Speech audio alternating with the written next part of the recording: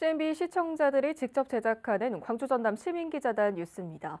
새로운 교통수단으로 자리 잡은 전동 킥보드 방치 문제가 심각한데요. 윤문기 시민기자가 취재했습니다. 새로운 교통수단으로 자리 잡은 공유 전동 킥보드를 차도나 인도에 무단 방치하는 경우가 많아 보행 불편은 물론 차량 안전사고 위험을 높이고 있습니다. 이곳은 광산구 월계동 부근 인도의 전동 킥보드 두 대가 장시간 방치되어 있으며 그중 한 대는 넘어진 채 버젓이 인도를 가로막고 있습니다. 또 다른 이곳도 도로와 인도 사이에 전동 킥보드 한 대가 넘어진 채 그대로 장시간 방치되어 있어 교통사고 위험도 커 보입니다.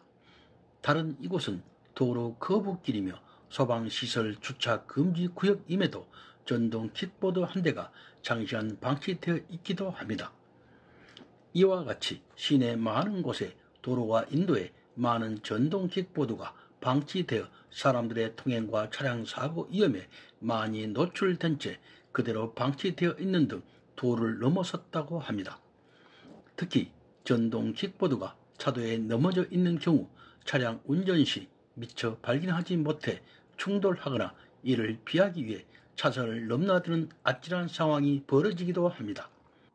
차량 운전 중에 도로 커브길에 넘어져 있던 전동 킥보드를 발견하고 아찔했던 경험도 있으며 주변 사람들도 전동 킥보드로 인해 위험한 순간을 많이 느꼈다고 지적하는 걸 많이 들었습니다. 일부 지자체가 무분별하게 주차된 전동 킥보드를 견인 조치하고 있다지만 거리에 방치된 모습을 여러 곳에서 많이 볼 수 있습니다. 자전거 거치대처럼 공유 킥보드 주차 공간을 곳곳에 만들고 무엇보다 보행 및 차량 안전 운행에 방해되지 않도록 안전한 공유 전동 킥보드 이용 문화를 정착시켜야 할 것으로 보여집니다. CNB 시민 기자 윤문기입니다.